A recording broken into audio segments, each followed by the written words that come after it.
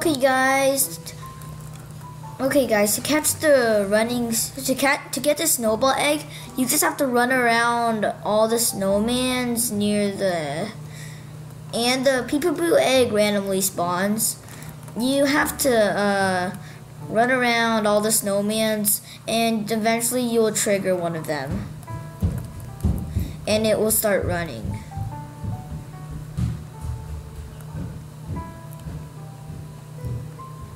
There's one back here. It looks suspicious. Yeah, I have to, and it'll start running. Well, you, uh, you have to catch up to the running snowman.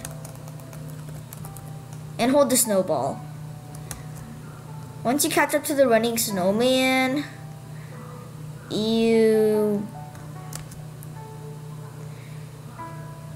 press E to catch it. And you will get the snowman egg. So it's simple as that.